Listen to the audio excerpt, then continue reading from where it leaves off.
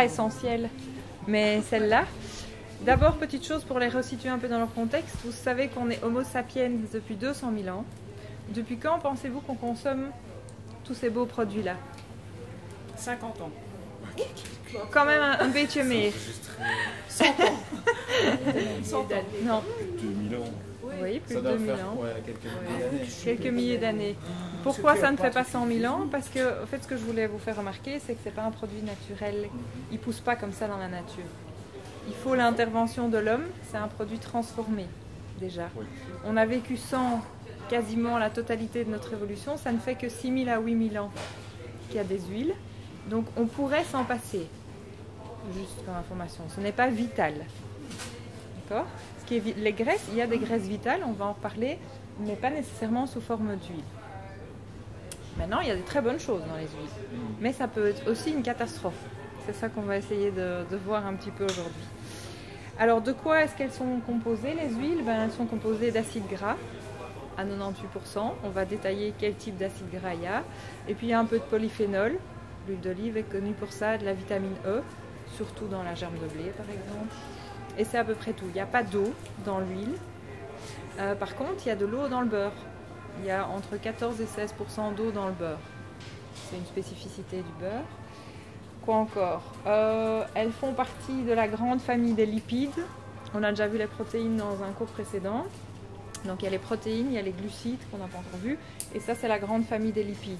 Donc dans la lipide, il y a les huiles, mais il y a des lipides dans la viande, il y a les lipides dans les produits laitiers, il y a des lipides dans les oléagineux. Donc c'est une partie de la famille des lipides. Spécificité de la famille des lipides, c'est que les protéines et les sucres nous apportent par gramme 4 kilocalories, donc c'est la mesure euh, de l'énergie que ça nous apporte. Les lipides nous en apportent 9. Donc ça donne beaucoup plus d'énergie. Il nous en faut donc moins pour avoir plus d'énergie. D'accord? Ce qu'on va détailler maintenant, c'est euh, le type d'acide gras qu'il existe. Mais avant ça, je me suis rendu compte en donnant le cours hier qu'il valait mieux en parler avant. Le grand problème qui peut se passer avec ces huiles qui sont donc des produits transformés, c'est-à-dire que la nature n'avait pas prévu que ça se retrouve dans des rayons, dans des bouteilles pendant des semaines, pendant des mois, c'est que ça peut s'oxyder. Pour comprendre le concept d'oxydation, il faut comprendre ce que c'est une, euh,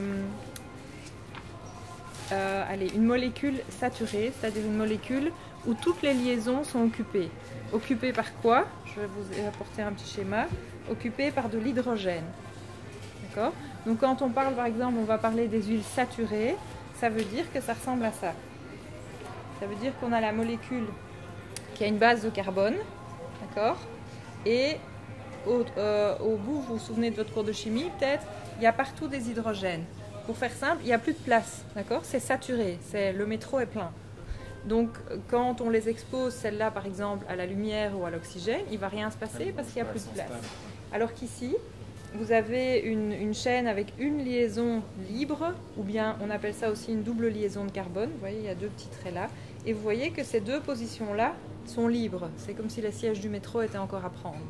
Ben, une molécule comme ça, quand elle rencontre de l'air ou de la chaleur euh, ou de la lumière, elle va capter de l'oxygène. Donc c'est de l'oxygène qui va venir se mettre à la place de l'hydrogène. On parle alors d'oxydation. Vous avez peut-être déjà entendu parler de antioxydants. On est censé manger beaucoup d'antioxydants. Vous savez que de la rouille, c'est quoi? C'est de l'oxydation du fer. C'est le fer qui est en contact avec l'air. Mais quand vous mangez des produits oxydés, c'est comme si vous vous faisiez rouiller de l'intérieur. Et les antioxydants doivent justement servir à éviter que vous rouilliez de l'intérieur. Donc ce qui est nocif dans ces huiles, c'est quand vous prenez des bonnes huiles qui avaient des liaisons libres, que vous les exposez à la chaleur, à la lumière ou à l'air, et que hop, il y a de l'oxygène qui vient se mettre dessus, et le- elle va être oxydée, ou on dit aussi elle va rancir. Et elle va produire des radicaux libres, ça vous avez peut-être déjà entendu aussi, radicaux libres, tout ça est très mauvais pour la santé, des peroxydes et d'autres. Voilà, donc ça, on va y revenir souvent parce que c'est vraiment ça qui va déterminer à quel moment on va utiliser quelles huiles. C'est clair cette notion-là? Ouais. Voilà. C'est pour ça que les bouteilles sont foncées. Exactement. C'est pour ça que dans les bonnes huiles, les bouteilles sont foncées. C'est pour ça que je vais vous en montrer où je ne comprends pas très bien pourquoi la bouteille n'est pas foncée. Mais ici, c'est le paradis. Ce que j'adorerais, c'est avoir là à côté un rayon de supermarché. Là, on rigolerait bien. Là, il y a des catastrophes, mais euh, monstrueuses. Ici, c'est- ça va. On va détailler un petit peu, mais dans la grande majorité, ça va même très très bien. Ça va? Après, après c'est ce que toi, tu vas en faire à la maison qui Ouais. va être déterminant. Et c'est ça qu'il faut expliquer au client et que le client doit bien comprendre euh, aussi. On va commencer par les saturés. Euh, qui sont où temps là L'huile de coco, l'huile en fait. Ah bah parfait, voilà. Au moins celles-là, elles sont bien dans le champ. Donc huile saturée, coco, palme, euh, beurre. Euh, Il y en a dans les produits laitiers, dans, dans, les, dans les viandes et tout ça. Dans le ghee, le ghee c'est du beurre au fait qui a été chauffé. Vous voyez déjà une première caractéristique des huiles saturées par rapport aux autres, c'est quoi? Elles sont solides. Donc ça, ça permet de repérer une huile saturée, c'est qu'elle est solide à température ambiante. Elle est donc bien saturée en hydrogène, il ne peut pas lui arriver grand-chose. Vous pouvez la laisser à la lumière, c'est pour ça que les pots ne sont pas foncés. Vous pouvez à la limite la laisser au soleil, bon sans exagérer non plus, mais vous pouvez la laisser sur votre plan de travail, on va dire. Vous pouvez la chauffer, elle est super stable. On va parler d'un autre, d'une autre notion importante après, c'est le point de fumée. Vous allez voir que ces huiles-là ont les points de fumée les plus hauts, quasiment. Donc ça, c'est les saturés. Quelle place est-ce qu'elles ont dans notre alimentation Elles sont fortement décriées par euh, le courant officiel qui dit que c'est elles qui bouchent nos artères en jouant sur le fait qu'elles sont solides. Ce qu'elles oublient, c'est qu'à 37 degrés dans notre corps, elles sont plus du tout solides. hein. Et qu'au fait, ce qui est mauvais pour nos artères, on va pas détailler ça aujourd'hui, c'est pas les graisses saturées, c'est la combinaison de graisses saturées et de sucre. Ce que la nature n'a jamais prévu. Mais nos ancêtres, là, il y a 200 000 ans, ils mangeaient énormément de graisses saturées parce qu'ils mangeaient énormément de viande. J'étais dans un parc préhistorique cet été et le gars qui taillait les silex, là, euh, et il expliquait que quand Homo sapiens est arrivé en France, dans cette région, c'est à Amiens, il y a 20 000 ans, c'était une période glaciaire, la seule chose qu'il avait à manger, c'était des rennes. Donc graisses saturées tout le temps, tout le temps, tout le temps. Du renne, oui. Oui. Comme les rennes du Père Noël. Ah, l'animal Oui Pas des, pas des reines, les femmes des rois. C'était pas évident d'en trouver pour tous les jours une reine. Je me suis dit peut-être qu'il y a autre chose qui s'appelle reine. Non, non, non. Les rennes, voilà. Maintenant, les rennes à l'époque mangeaient pas du maïs et du soja, mais de l'herbe, donc ils avaient un peu un profil d'acide gras plus intéressant que nos vaches aujourd'hui. En fait, c'est encore quand- un peu le régime euh, Esquimaux, enfin Voilà. ceux qui vivent un peu. Les Esquimaux, ils mangent quasiment. eh, Les Esquimaux, la différence, c'est qu'ils mangent beaucoup d'animaux, mais beaucoup d'oméga 3. Oui, à Parce que dans les, dans les poissons, a- non, voilà. mais il faut pas les diaboliser. Maintenant, ça doit pas être notre, notre graisse principale non plus. Donc on va voir un petit peu après, et vous l'aurez dans les notes. Disons que ça, 10 à 20 grammes par jour, ça suffit. Vous voyez les petites plaquettes qu'on reçoit au resto? Ben, Deux fois ça par jour en beurre, c'est bon. Ou en huile de coco. Parce que vous allez manger des graisses saturées dans d'autres produits. Si vous prenez des produits laitiers, si vous prenez de viande.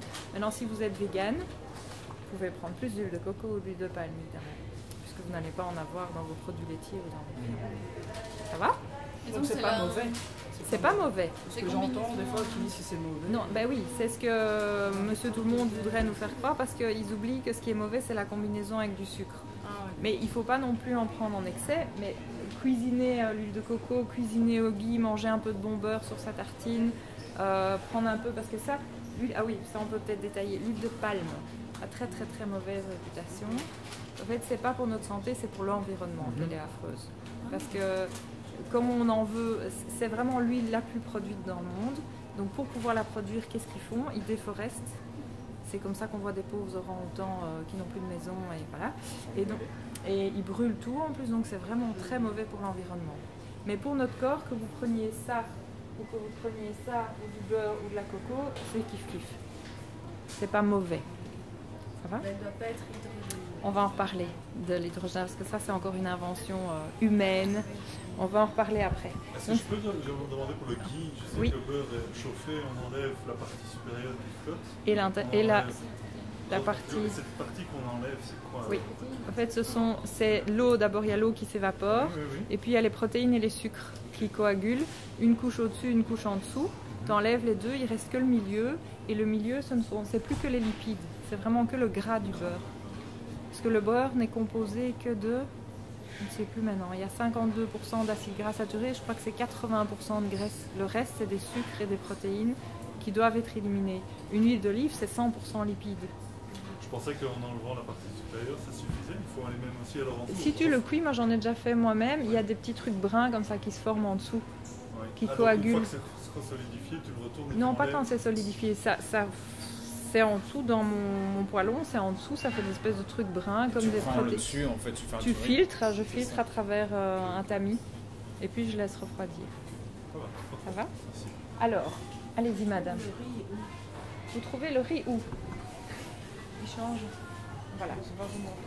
Alors, euh, prochaine famille d'acides. Ah oui, d'abord, ici, ils ne sont pas essentiels. Vous vous souvenez qu'il y avait des acides aminés essentiels dans les protéines, c'est-à-dire des acides aminés qu'on doit aller chercher dans l'alimentation parce que le corps ne sait pas les produire. Il n'y a pas d'acides gras saturés essentiels.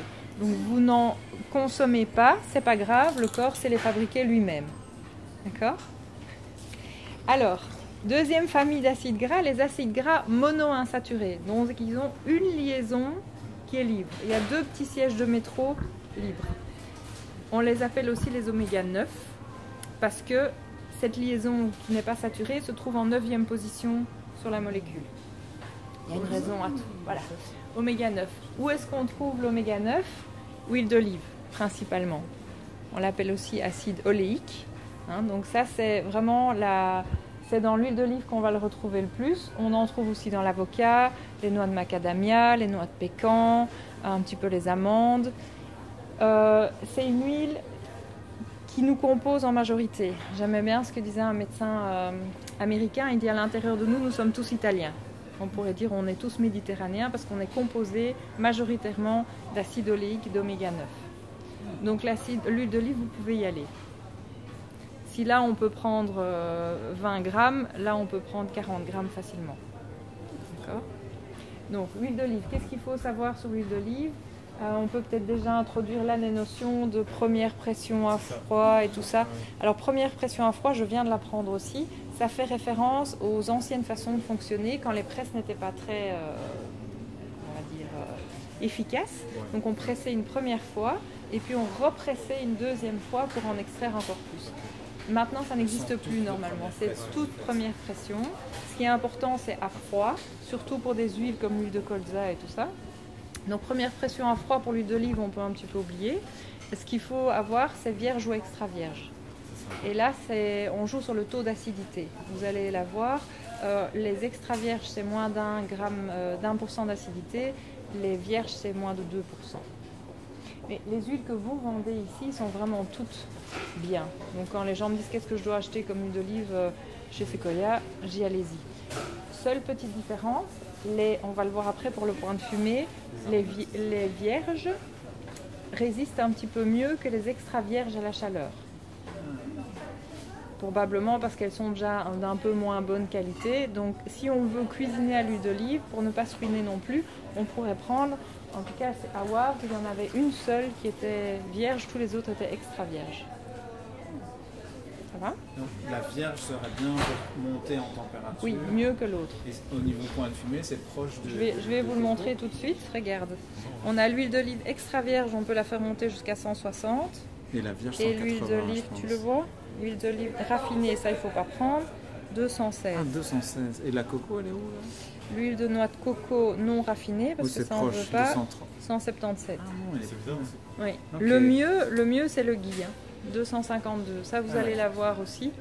Donc euh, Le, et le coco est quand même mis dans les friteuses parfois. Oui. Je, je vois qu'on le vend aussi. Oui, oui, le coco est très ça bien. tout de suite sur des températures bien plus importantes. que 200, je sais pas du tout à combien fonctionne une friteuse. De toute façon, friture, il faudrait jamais manger. Ouais, je Il y a- de friteuse. Il y a un de vos collègues hier à Wavre qui m'a raconté qu'il avait un, un air, un air frit ou je sais pas quoi, un free air ou un truc qui frit à l'air, Ah, sans huile. Ouais, juste mettre un tout petit peu. Et puis Mais ça- même il met même plus lui. Oh. Ça prend une demi-heure, mais t'as des frites. Je sais pas très bien comment ça marche. Mais il y a l'huile de coco, là, désodorisée, je sais pas quoi, qui est plus pour la, la Bah, friture. Mais celui qui tient le mieux, c'est lui- c'est le gui. Et alors, ce qui est intéressant, souvent vous lisez dans des magazines ou quoi qu'on peut cuisiner à l'huile de colza. Mais ce n'est que, alors c'est de la raffinée. Et ça, c'est mauvais. Ça, on peut peut-être aussi, ben, tant qu'on y est, vous avez l'huile Extra vierge, on a dit, on joue sur les pourcent- pourcentages d'acidité. Et une huile raffinée, c'est quoi? Vous devez imaginer que vous avez euh, fait une première pression à froid. Et puis, pour encore gagner des sous, ils vont reprendre ce qui reste, ajouter un dérivé du pétrole, l'hexane, chauffer à mac pour encore extraire de l'huile. Donc ça, c'est juste bon pour les moteurs, quoi, mais pas pour nous. Raffiné. Raffiné. Donc tout ce que vous trouvez en supermarché euh, où il n'est rien écrit, mais il n'est pas écrit extra vierge, il n'est pas écrit vierge, c'est dans, dans des bouteilles en plastoc ou des bouteilles en verre blanches. euh, et il est rien, c'est raffiné, et c'est horrible. En Amérique, ils se rendent compte qu'ils se sont bousillés la santé les 60 dernières années avec leurs huiles végétales raffinées, l'huile de coton, l'huile de soja, l'huile de colza, très mauvaise en, Amérique parce qu'elles sont toutes raffinées. Et ils font maintenant une grande marche arrière à tel point qu'il y a une pénurie de beurre. Je ne sais pas si vous avez lu. On va probablement avoir une pénurie de beurre cet hiver. C'est grave parce que tous ces pays-là se remettent à manger du beurre qu'on a diabolisé pendant 40 ans. Et maintenant, ils se rendent compte que c'est bien meilleur pour la santé que leurs horribles huiles raffinées, qui sont Ça très doit- inflammatoires. Ça doit complètement tout boucher alors s'il y a de l'hexane là-dedans. Ça- ça- ça- c'est super inflammatoire. Il n'y a plus rien. Le corps ne sait pas les utiliser. Même s'il y a encore des oméga 3, ils sont tout à fait cuits en plus. Ouais, euh. Donc quand on voit ici que par exemple l'huile de, de quoi? De tournesol résisterait à la chaleur, c'est parce qu'elle est raffinée. Ouais, donc on n'en veut pas. Mais ça, vous n'en avez pas ici, donc tant mieux. Mais en supermarché, il y a des cata. Et on irait en Amérique, on rigolerait bien plus encore. Au Carrefour, quand on y va, euh, 85%, voire 90%, c'est que de la. Oui. Oui. Oui. Non, on C'est- va dire, euh, si, si par C'est- exemple on peut y aller pour une chose ou autre. C'est moins cher, mais c'est vraiment tout. Quoi. Non, mais je vais plus. Alors, euh, eux sont liquides à température ambiante, mais vont se solidifier si vous les mettez au frigo, à 4 degrés plus ou moins. L'huile d'olive, tout ce qui est mono-insaturé va solidifier. Alors d'ailleurs, en Amérique, c'est très dur de trouver de l'huile d'olive pure. Ils la coupent avec des huiles genre euh, colza et tout ça. Et ce que les Américains, d'abord, quand ils parlent de notre huile européenne, c'est comme s'ils parlaient de Dieu, donc euh, ils adorent. Et euh, quand eux mettent leur huile d'olive au frigo, c'est leur test. Si elle ne solidifie pas, c'est qu'elle a été frelatée. Ouais. Voilà. Donc ça, c'est pour les mono-insaturés. Après, on rentre dans une famille un petit peu plus compliquée. C'est quasiment tout ça. C'est les polyinsaturés. Poly, ça veut dire plusieurs. Donc, on a plusieurs liaisons, plusieurs sièges de métro libres. Donc, plein de place pour que l'oxygène vienne se mettre. Là, il y a déjà le problème, c'est que dès que vous triturez un produit comme ça, par exemple, vous prenez une noix et vous en faites de l'huile de noix, il faut vraiment que le procédé soit vachement bien contrôlé pour que l'huile de noix soit encore de qualité. Parce qu'il y a l'air qui rentre en jeu pendant que c'est pressé. On va essayer de ne pas chauffer, mais ça va peut-être quand même chauffer un petit peu. Donc, personnellement, je préfère manger des noix entières que de me prendre de l'huile de noix. Euh, pour l'huile de colza, c'est aussi important. Là, il est écrit première pression à froid. Première pression, ça m'intéresse pas, mais à froid, bonjour. Ça, par contre, oui, il faut absolument que ce soit à froid pour tous ces produits-là. Alors là, vous avez deux grandes huiles. Tu avais une question Huile de maïs, on a. On n'a pas d'huile de maïs. Voilà. Euh, deux, deux grandes euh, huiles polyinsaturées importantes dont vous avez souvent entendu parler, oméga 3 et oméga 6. D'accord Alors, par où on va commencer? Peut-être d'abord par le fait que nous sommes des animaux. Ça, ce sont des végétaux. Ça, provient de végétaux. D'accord? Quand vous buvez de l'huile de lin, par exemple, réputée pour être très riche en oméga 3, pour que votre corps puisse vraiment en faire quelque chose d'intéressant, il faut qu'il le transforme. Parce que c'est du végétal et que nous sommes des animaux, il faut, grâce à une enzyme, qu'il y ait une transformation. Cette enzyme s'appelle la delta 6 désaturase, on s'en fiche un peu, mais ce qui est important, c'est qu'elle fonctionne pas bien chez plein de gens. Soit génétiquement, c'est mon cas, soit euh, parce qu'on est trop vieux, soit parce qu'on est trop petit, soit parce qu'on n'a pas assez de zinc, soit parce qu'on n'a pas assez de magnésium. Donc vous avez mamie qui est dans un home qui a 85 ans, elle revient avec une prise de sang, mamie n'a pas assez d'oméga 3, vous voulez être super gentil, vous lui offrez une, bouteille d'huile de lin, elle boit toute la bouteille euh, en une journée, pendant 6 mois, elle retourne chez le médecin, il n'y a rien qui a bougé, parce que son corps s'est pas transformé. On est en tant qu'humain extra nul pour transformer l'oméga 3 végétal en animal. On sait faire ça à 7%. Ouais, c'est D'accord. c'est pas rentable. Donc, un vegan peut avoir des grands problèmes de manque d'oméga 3. Et là, ça devient important parce que ce sont des acides gras essentiels. Le corps ne sait pas les fabriquer. Donc il en a besoin. Disons que vous n'êtes pas vegan, solution très simple, vous mangez des petits poissons gras. La sardine, le maquereau, le hareng, le saumon, le thon sont des animaux qui ont mangé des produits riches en oméga 3 comme les phytoplanctons ou les algues et qui, eux, les transforment. Et nous, on a déjà droit à cet oméga 3 bien transformé qui s'appelle EPA et DHA. Ça vous dit peut-être quelque chose, ça se vend euh, en complément aussi. Donc, pensez-y, ça, ça ne suffit pas. Il faut manger des petits poissons gras. Autre euh, chose que je ne sais même pas si ça existe en bio, mais les graines de lin qu'on donne aux poules. Hein, donc il existe des œufs enrichis en oméga 3, les Columbus, en- au, au supermarché. Pendant tout un temps, je me suis dit, mais je vais manger mes graines de lin et je vais pas les donner à mes poules, je préfère me les manger moi-même. Mauvaise idée, moi je sais les transformer à 7%, mes poules à 70%. Donc j'ai grand intérêt à donner mes graines de lin à mes poules et à manger leurs œufs après. J'aurai beaucoup plus d'oméga 3 que si je mange les graines de lin moi-même. Va? Donc ce serait pas mal, je peux peut-être demander à Laurent ou si vous y pensez, de trouver des œufs bio enrichis en graines de lin, ça ce serait vraiment top. Parce que les Columbus malheureusement ils sont pas, c'est pas bio. Donc ça ce serait vraiment bien. Euh, solution pour les véganes, puisqu'il y en a de plus en plus et que vous risquez d'avoir les, les questions. Il existe maintenant des compléments, je suppose que tu les as, de EPA et DHA, enfin surtout de DHA provenant d'algues. Ouais, ouais. Oui, hein. Donc ça, c'est compatible avec un régime vegan. Le vegan qui vous dit je veux un complément, euh, vous pouvez pas lui donner de l'huile de poisson, mais vous pouvez lui donner ça. Oui, à partir de ça et à partir du lin aussi, enfin, les oméga 3 Life, ils sont Ça, ça sert à rien alors. ça ne- cher par rapport à ce que ça Ah rapporte. bah alors mais- ça ne sert à rien. Il faudrait. euh, D'ailleurs, euh, j'ai bien aimé ici. Ici, ils mettent source naturelle de DHA. Et je vois ça hier, j'avais déjà envie de dire c'est quoi cette arnaque, mais au fait là, huile marine, ils ont mis de l'huile de Ah, poisson dedans. C'est ça. C'est pour ça que ça marche. Mais sinon, il n'y a vraiment que les petits poissons qui, qui peuvent nous sauver. Vous trouvez un peu d'oméga 3 dans la mâche et le pourpier, mais ça reste du végétal. Vous pouvez donner la mâche et le pourpier à vos poules. Il faut des poules, quoi. en gros. Il faut Ça des sert à poules. rien alors. Quoi, Non, ça sert pratiquement à rien de manger. Si, c'est 7%, bien quoi. quand même, c'est bien quand même. Et puis ce sont des huiles saines. Mais dépenser des fortunes et avoir six huiles différentes, d'abord ça remplit ton frigo. Parce que ça, j'ai du mal avec les clientes, mais c'est au frigo. Il n'y a que l'huile d'olive qu'on ne met pas au frigo. Ah, tout le reste doit aller au frigo Oui. L'huile de sésame aussi Ah oui. Sauf quand elle est grillée, parce que là, elle est déjà morte, de toute façon. L'huile de sésame grillée, elle est super bonne au goût. J'en ai aussi à la maison, de temps en temps, mais c'est pas pour la santé. Parce que j'ai une huile le de sésame que je mets au placard parce que justement, je me dis il fait noir dedans, ça Non. Fait, j'avais de ça au frigo. Oui, alors les huiles qui sont bien faites, on peut par exemple prendre l'huile de sésame, peut-être que vous savez plus vite que moi où il y en a. Un petit peu. Alors, déjà, moi les producteurs, oups là, chin chin, les producteurs qui ne me mettent plus ça, j'achète pas leurs huiles parce que je trouve ça vraiment important qu'il y ait, qu'il y ait tout le détail. Et polyinsaturée, tu peux voir ici qu'elle est composée à 44% de polyinsaturée. C'est énorme. C'est Donc bon, oui. en fait. Ben, c'est pas que c'est pas bon, mais d'abord tu peux pas la chauffer. Alors quand on cuisine à l'huile de sésame, bof. Mais je mets après. hein. Enfin, Et si tu la mets après, il faudrait la conserver au frigo. ok. Donc ça, faut pas chauffer un peu. Il faut pas chauffer, non. Ça m'est déjà arrivé de chauffer. Mais si ça t'arrive une fois tous les X, non, Comme de- tu vois, on vraiment meurt euh, pas. quand je me rends compte que j'ai plus d'huile d'olive, euh, j'ai que ça sous la Oui. main. euh, mais on n'en meurt pas, c'est pour ça qu'elles sont là, mais vous savez que l'huile de lin a été interdite pendant des décennies en France parce qu'il y a des gens qui sont morts à cause d'huile de lin oxydée.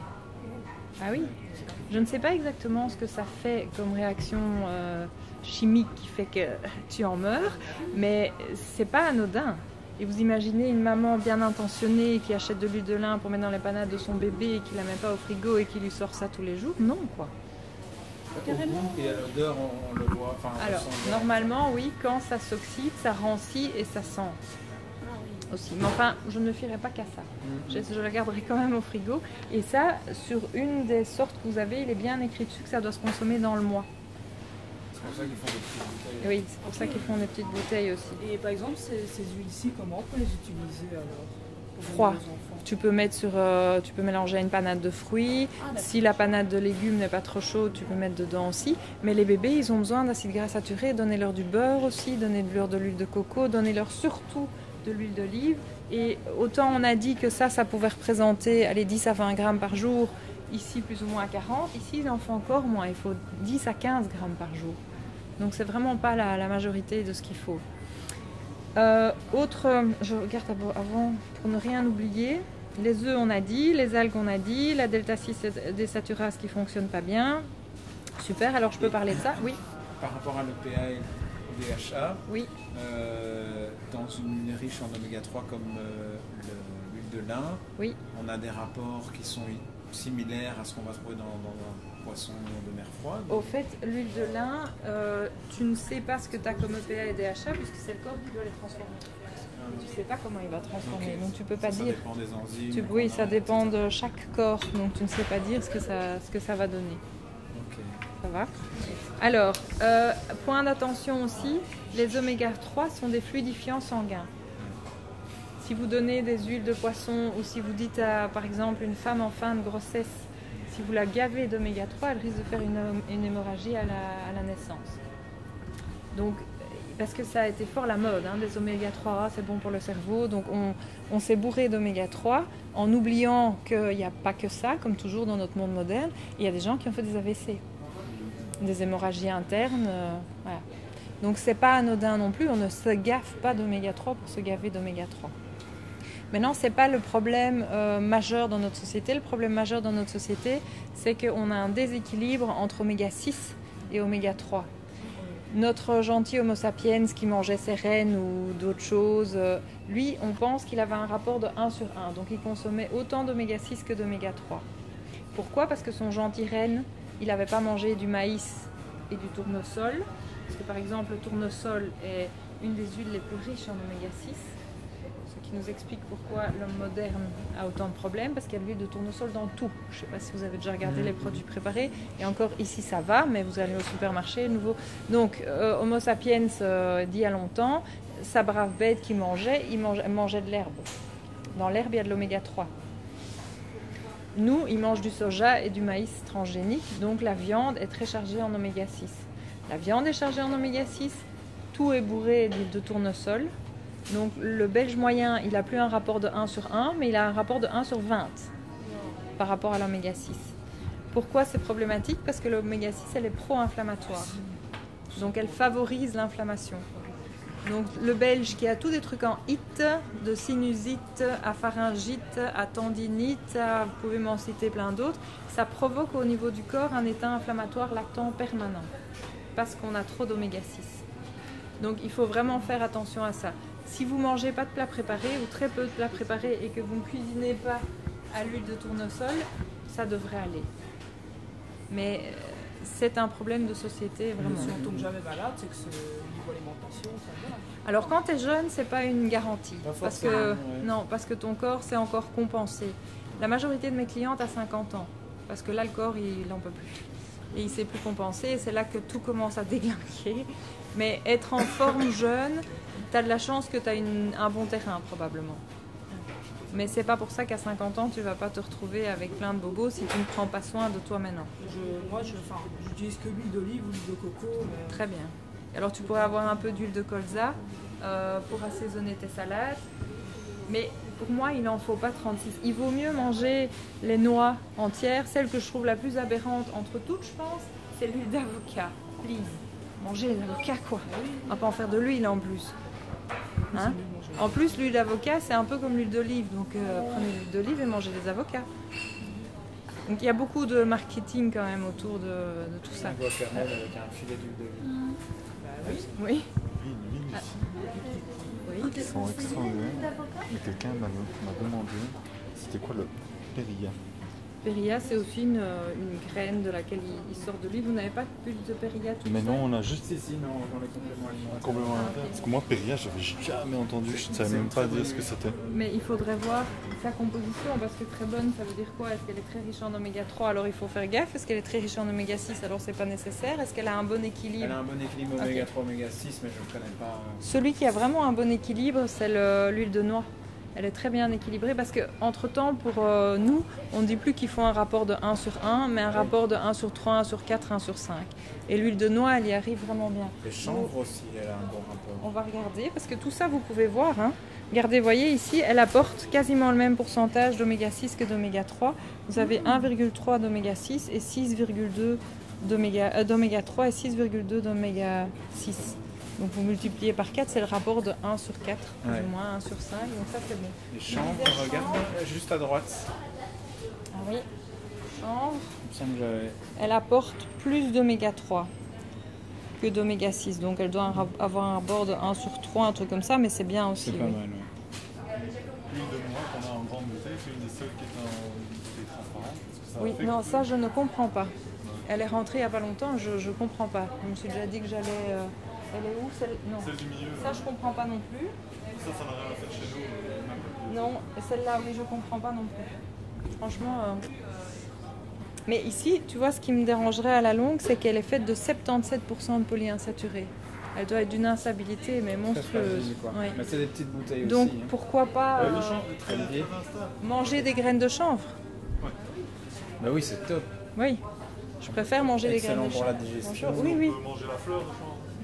La fleur de chanvre, là tu m'en demandes beaucoup. La- la- c'est la fleur qui porte On les va graines. arriver sur Si des. tu feuilles, on peut aussi faire autre chose. oui. bio, bio, Tout à fait bio. bio peut-être, mais oui. Non, parce que toutes les fumées sont aussi. J'ai dit manger. Ah, manger. Un cake. Ok. Ah ouais, voilà. Un beurre. Avec euh, beurre de coco. euh, Est-ce que vous avez des questions sur euh, justement d'eau d'huile qui... Bah, peut-être euh, ton point de vue sur les toute la gamme Quintior, Quatuor, Trior et c'est l'Okinawa Okinawa à côté? Ben, ce qu'il faut toujours faire, c'est voir la composition. Il joue sur quoi? Il joue sur le fait que ça nous amène la même quantité d'oméga 3 que d'oméga 6. Il y a 33% de polyinsaturés, 54% de mono et où sont les saturés? 12%. Donc pour moi, elle est un petit peu trop polyinsaturée, Un mais c'est pas grave. ouais. puisqu'on va l'utiliser pour Sur les les salades, salades. et tu vas quand même manger d'autres huiles à côté. Donc c'est bien fait. Maintenant, il faut la mettre au frigo. Ouais, et, les, et les Okinawa, je me suis toujours demandé. Euh, ce Ama- Amanprana, c'est toujours une démarche assez pointue. Alors, qu'est-ce qu'on a ici? Qu'est-ce qu'on peut avoir un truc clair? Il y a 62% de polyinsaturés, 24% de monoinsaturés et 14% de saturés. Donc c'est totalement déséquilibré si tu ne te bases que là-dessus pour tes huiles. C'est pas assez de mono et trop de poly. Et avoir une grosse bouteille comme ça avec autant de polyinsaturés, hmm, je. Non. Moi je le ferais pas, je vois pas pourquoi. euh, je- je- Alors, regarde, l'huile de colza, en fait, elle est, elle est vraiment pas mal. Point de vue équilibre, elle a 60% de monoinsaturés. Il nous en faut beaucoup, 30% de poly, donc moins que l'autre, et 8% de saturés. Ça, ici, sur les Okinawa, c'est plutôt, ils jouent sur les équilibres 3, 6, 9, 7. Mais oui, c'est ça, l'étiquette au-dessus. En tout cas, là, ils détaillent les huiles utilisées. Peria, euh, je vais peut-être lire en français. Où est-ce qu'on l'a en français On n'a pas en français. Donc il y a Peria, il y a Chanvre, il y a Nigel. Evening Primrose, c'est euh, c'est pas bourrache, c'est l'autre. c'est l'autre, ouais. C'est l'autre. euh, et euh, huile de palme rouge, un petit peu d'huile de noix et de l'huile de courge. Voilà, Ouais, onagre. après, tu vois, c'est, mais c'est, c'est quand même des huiles qui ont chacune, au-delà de- du fait qu'elles soient saturées, insaturées, des propriétés particulières. Oui.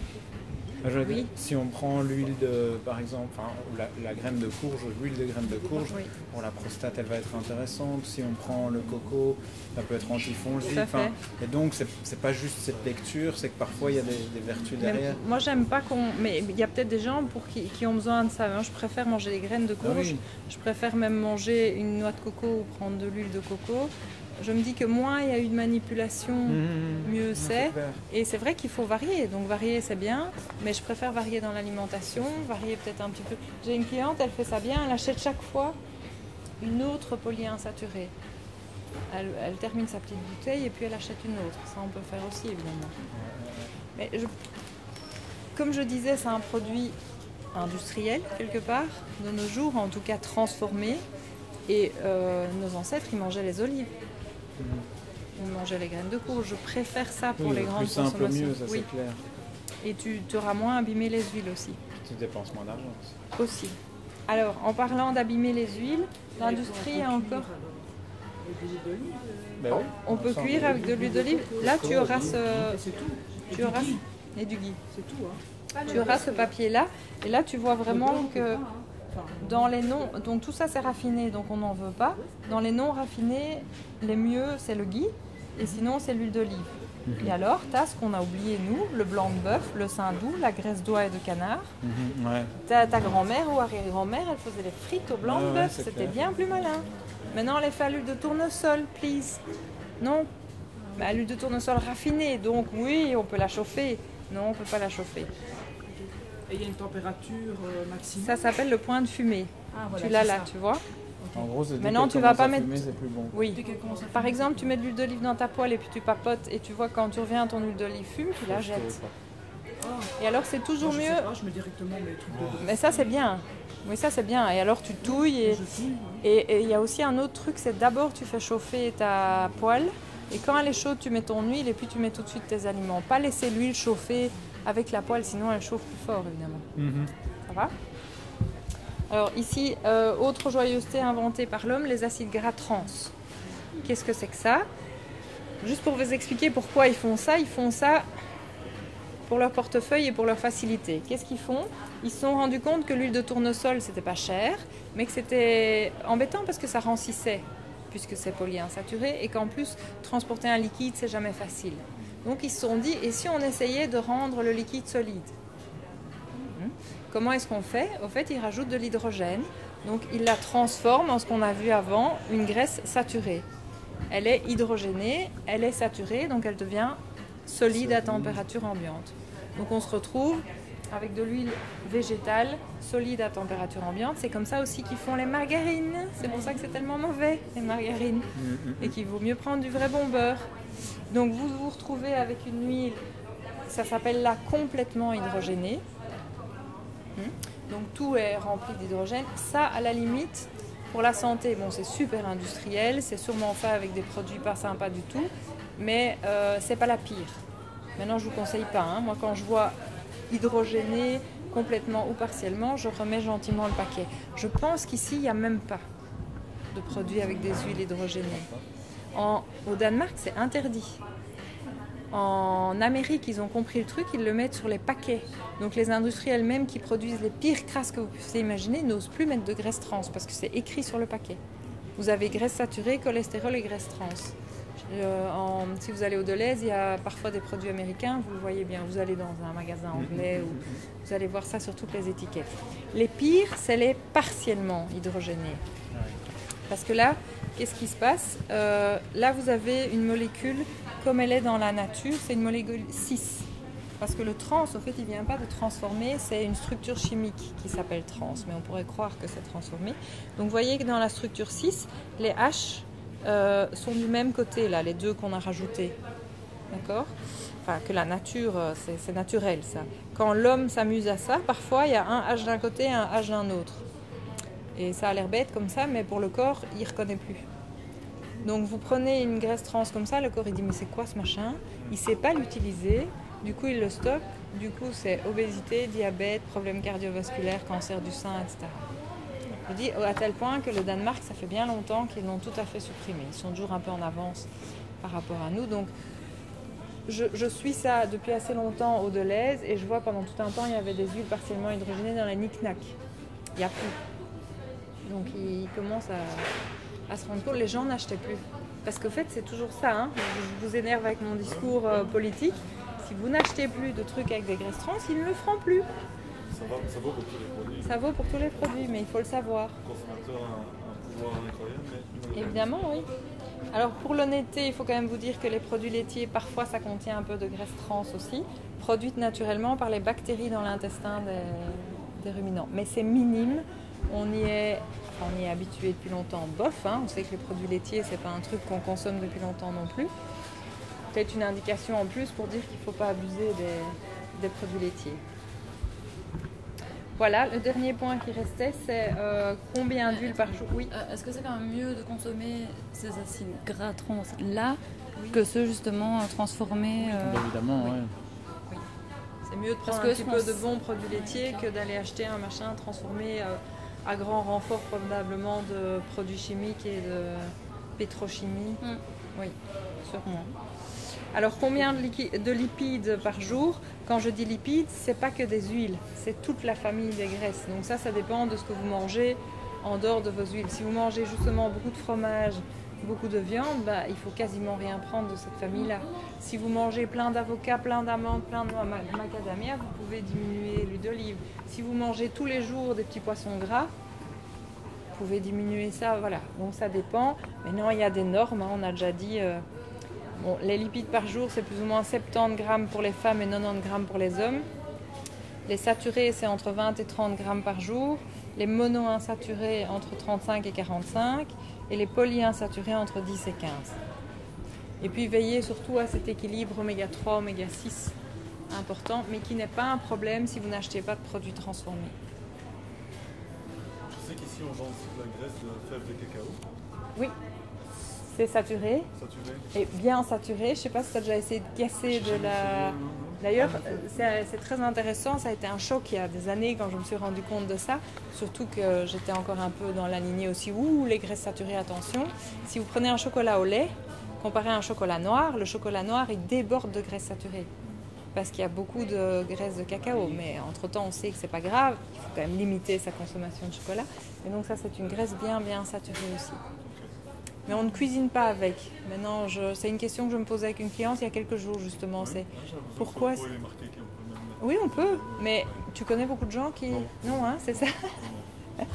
J'ai envie. Ah, bah oui, c'est parce qu'on avait envie d'essayer de faire notre propre chocolat qu'on s'est dit. euh, Oui, j'en ai dans mon frigo en plus, mais c'est de la brique. Hein. T'as pas envie de cuisiner avec parce qu'il te faut un marteau pour. c'est par rapport à l'huile de coco, c'est Moi, méga je pensais dur. qu'il y avait moyen de le tartiner. Ah non, c'est très. Ah, Tu peux arracher. euh, non. Ah, ok, d'accord. En tout cas, la mienne est. Très son dur. préparation. Voilà, moi je pense que j'ai tout dit. Vous avez encore des questions? Et l'huile désodorisée, c'est pour ne pas qu'on sente le ranci quand quand elle est plus bonne, c'est Non. ça? C'est pour qu'elle n'ait pas de goût. Parce que euh, si tu prends l'huile de tournesol, ça a quand même un goût. Bah, Il y a des gens qui n'aiment pas, donc ils la désodorisent. Pour faire euh, l'huile de colza désodorisée Comme- aussi. Comment on peut Oh, c'est encore Ça des trucs chimiques. Pas hein. toujours, parfois c'est sur des filtres d'argile, euh, Ah oui, ça peut.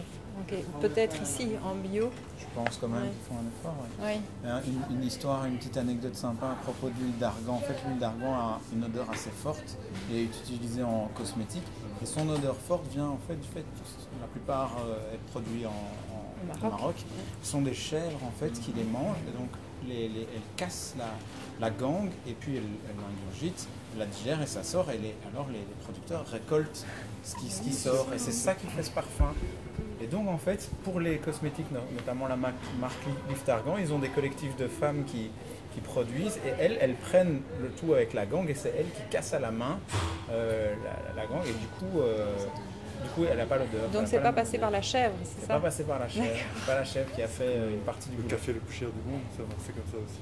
Ah ouais C'est des, des animaux qui ingèrent les, les fèves de, de café, puis c'est à travers les intestins que tout se broie, et puis on y récupère après. le- C'est la même chose que la quoi. Ah, voilà. Ici, une huile d'olive, c'est une des seules qui est moulue sur, euh, sur pierre. Est-ce que ça, ça a un effet euh, bénéfique ou pas? En tout cas, c'est une des seules qui a un- vraiment un dépôt. Elle est non filtrée, c'est surtout ça qui est intéressant. Ok. Euh, parce qu'alors tu, ne- tu ne perds rien. Donc, je- ouf. Pierre, Meule de pierre, je sais pas si ça, amène vraiment quelque chose. Parce que Pour une farine, oui, mais pour une ça- je sais pas si ça chauffe moins que le métal peut-être Ouais. à voir. Et puis c'est c'est l'ancienne méthode, c'est surtout là-dessus qui joue. Par contre, moi, un truc qui m'a impressionné cet été, j'étais en Crète Ouais. et il y a des oliviers partout, partout. Ouais. Et ils sont soumis à des conditions climatiques super dures. Il y a un vent de tapé en été, il fait super chaud et on sait que quand les arbres sont soumis à des conditions extrêmes, ils développent encore plus d'antioxydants, donc de polyphénol et tout ça. Euh, vous connaissez peut-être Olivie 30 tu as ça, Olivie Oui, oui, 30 on a ça, ou je sais pas se quoi pas, mais on les a. Ok, mais Olivier 30, ils, ils en font la pub en disant que les arbres ont poussé dans le désert au Maroc, donc encore pire qu'en Crète, et que du coup, comme l'arbre doit se défendre contre les conditions, il développe plus de polyphénol, et donc nous, on peut les, les- les manger. Depuis que j'étais en Crète, je n'achète plus que de l'huile. Olivier, c'est jamais moins de Il paraît que c'est la 30%. meilleure. hein, cette fois. C'est jamais moins de 30%. Non, on, a- on les fait à moins 30%. Ah, on les fait Parce qu'on a Ah ouais, mal ça- à... Ça vaut la peine. Mais euh, franchement, l'huile crétoise, d'abord, euh, je pense pas qu'ils pulvérisent beaucoup sur cette île et en plus ici c'est bio. Et vu les conditions qu'elle est soumise, elles doivent être bien chargées en polyphénol. Maintenant, il y a peut-être d'autres régions, je connais pas toutes les régions, hein, mais ça, ça m'a ça m'a bien convaincu. L'huile de truffe. L'huile de truffe, il n'y a pas de vraie. L'huile de truffe, c'est des truffes mélangées à l'huile d'olive. L'aromatisation. Tu en as où. Ah, bah, ah, on va avec ça fait. Ça doit être de une huile assez neutre de goût, la base. Alors, huile d'olive et puis un petit peu de truffe blanche. Et là, on a du bol, ça c'est très bien, ça je vais peut-être en acheter parce que bon, ce qui m'embête, hein, c'est que c'est un, Voilà, verre, euh, transparent, mais bon, c'est petit et, et c'est de l'huile d'olive, donc à la limite, c'est pas Alors, une huile de lin. un peu stable quand Mais ce qui est génial ici, c'est que c'est des vraies truffes parce que souvent c'est de l'arôme de truffes. Ouais, et ouais. ça, moi, T'es sûr que t'es sûr Non, non, c'est mis, truffe Regarde, blanche. c'est Dans l'autre. que- C'est dans, c'est dans celui-là que c'est un arôme. truffe blanche, il est écrit. Donc ça c'est top. Parce que souvent c'est de l'arôme. Et ça, c'est- elle est moins chère. Là, c'est c'est- c'est ça avec arôme. arôme. Là, c'est l'arôme. moins cher, c'est un bon achat. Faut voir si ça, si ça goûte bien la truffe maintenant. mais- Donc, ceux-là n'ont pas d'intérêt non plus, c'est juste pour avoir du pour Alors quand tu, mets, euh, quand tu mets du thym, par exemple, de par les, comment on dit, les composés du thym, ça va aider à conserver la qualité de l'huile, donc les polyphénols de l'huile. Ça va lui permettre de résister encore plus longtemps. Donc ça pourrait justifier que la bouteille... C'est pas mal. Et en plus, il y a de bonnes propriétés digestives. Oui, donc ça vous pouvez faire à la maison. Vous achetez une bonne huile d'olive et si vous aimez bien quand ça goûte le thym, vous mettez du thym dedans, vous mettez de Voilà, de l'origan, l'ail. de l'ail. euh, Ça, ça, c'est une bonne idée. Mets de l'huile. Mets de l'huile et de